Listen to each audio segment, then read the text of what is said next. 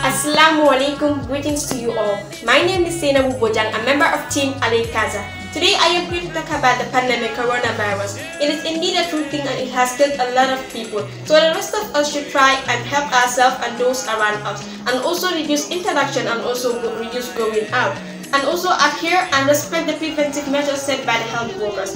These preventive measures include 1. Washing your hands with soap cleanly and also do not forget to wear a mask when going out and do not also forget to wash it. 3. Cover your mouth as you cough and 4. Do not forget to observe social distancing. Also, not to forget, I also want to send my gratitude and thanks to the doctors and health workers and the Ministry of Health of Senegal. Team Allez Casa is supporting.